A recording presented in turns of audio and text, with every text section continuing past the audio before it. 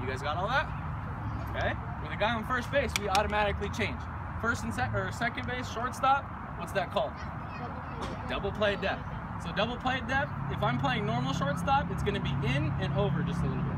So you see how I got in a little bit and over? Okay. Same thing with the second baseman. Boom. Got it. Done. Taken care of. First baseman, you're holding him on. Where's the third baseman? Less than two strikes right now. Good. Good job. Catcher, pitcher, you guys are good. And then outfielders are neutral. Doesn't matter where the players are on the infielder, on the infield. Doesn't matter where they are. Outfielders, you guys are just going neutral unless we tell you otherwise. You guys got that? Okay.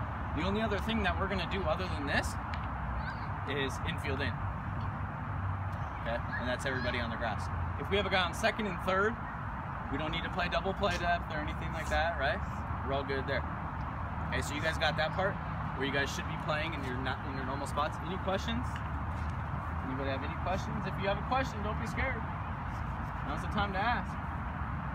Because if nobody has any questions, that means you guys know all of it. Good? Okay.